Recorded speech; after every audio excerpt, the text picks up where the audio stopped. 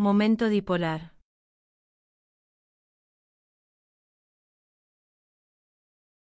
El momento dipolar se define como el producto entre las cargas y la distancia entre dichas cargas. El momento dipolar es una magnitud vectorial.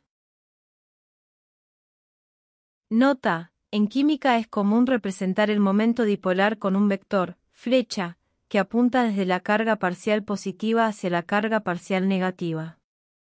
En la convención moderna y en física, el vector apunta hacia la carga parcial positiva.